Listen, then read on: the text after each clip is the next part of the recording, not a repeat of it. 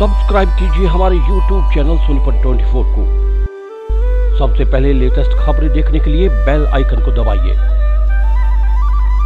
जालौन की उरी पुलिस ने दो शातिर अभियुक्तों को असलाहा और गांजे के समेत गिरफ़्तार किया गया है। गिरफ़्तार आरोपी इमरान पुत्र रमजानी निवासी तुफेलपुरवा कोतवाली उरई का रहने वाला है। इस, इसके पास से 312 बोर का अवैध असलाहा और दो ज़िंदा कारतूस बरामद किए हैं। इसी के साथ एक अन्य अभियुक्त शाहरुख खान पुत्र सत्तर निवासी सवरा पैलेस के पास तुफेलपुरवा से एक किलो 250 ग्राम गांजा, ग्यारह सौ रुपये नगद और चोरी का माल भी बरामद किया है। अन्य मामलों में भी अभियुक्तों से पूछताछ चल रही है। माधोगढ़ से डॉक्टर विजय सिंह कुशवाहा की रिपोर्ट। दो लोगों को गिरफ़्तार किया गया है, एक दूसरा दोनों चोरी भी करते हैं, साथ ही साथ कभी कभी N D P S narcotics के भी लोग हैं और रात में इनको पकड़ा गया।